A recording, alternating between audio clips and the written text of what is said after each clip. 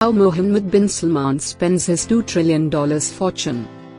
Meet Mohammed bin Salman, the 35 year old crown prince of Saudi Arabia, who is at the center of human rights issues and drops hundreds of millions of his family fortune on yachts, mansions, and artwork. Known as MBS, the crown prince is the driving force behind Saudi Arabia's attempts to modernize and is seen as the true power in the kingdom. The 35-year-old is the public face of the House of Saud, with the collective wealth of its members estimated to be well over $2 trillion. It is an astounding figure. Nearly 16 times higher than the British royals, their riches stem from the vast oil reserves uncovered in Saudi Arabia, more than 75 years ago during the reign of King Abdulaziz ibn While the family normally likes to keep their fortune private, Prince Salman is believed to live a life of almost inconceivable luxury. He is known for his lavish spending, luxury properties and is even rumored to be the owner of the world's most expensive painting and he was thought to have been part of the failed big money deal to buy Newcastle United, after missing out on Manchester United, both English Premier League teams. In 2015, the world was left stunned when an unnamed buyer splashed over $300 million on an incredible chateau in France, just west of Paris.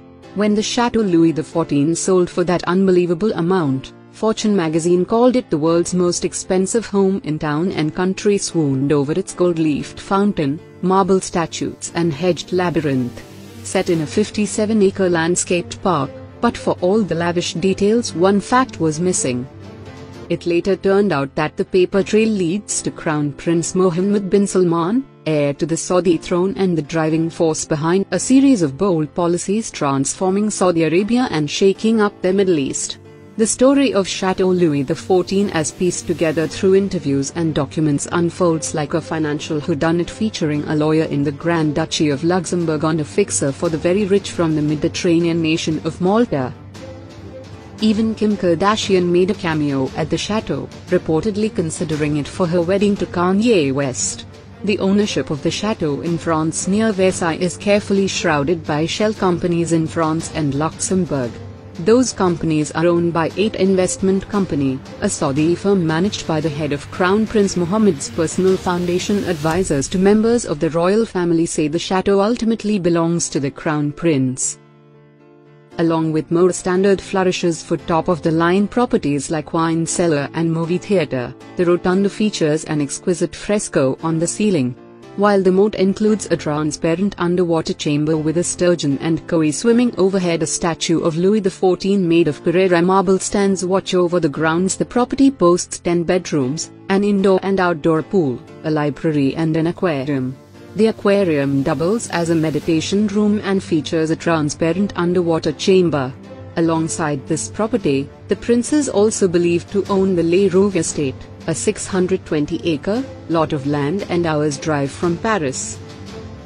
Continuing with his splurge, the prince reportedly bought the most expensive painting ever, News that Saudi Arabia's crown prince bought the $450 million Leonardo da Vinci painting came as a shock to the Western world, but to those who have followed him, it was just one in a series of his jaw-dropping purchases. Prince Mohammed was the mystery buyer of Leonardo da Vinci's Salvator Mundi which was auctioned off at Christie's in 2017 for close to half a billion dollars. The highest price ever paid for a work of art. Normally news of a wealthy and powerful member of Saudi Arabia's royal family buying a piece of art would not raise any interest, but the timing of this purchase was notable. It came just two weeks after Crown Prince Mohammed launched an anti-corruption campaign rounding up more than 200 Saudi businessmen ministers and princes most are being detained at a luxury hotel in the capital Riyadh. And if all that wasn't enough, the prince is building a $500 billion megacity on a huge 10,200 square mile site along the Red Sea named Neom. The development will be 17 times the size of London and will be run on 100 renewable energy. It will become a cross-border city-state with its own economic zone and more relaxed laws than the rest of Saudi Arabia. Salman hopes his city will be able to surpass Silicon Valley in terms of technology and overtake Hollywood as the world's entertainment capital. When it comes to partying, no one does it better than our guy.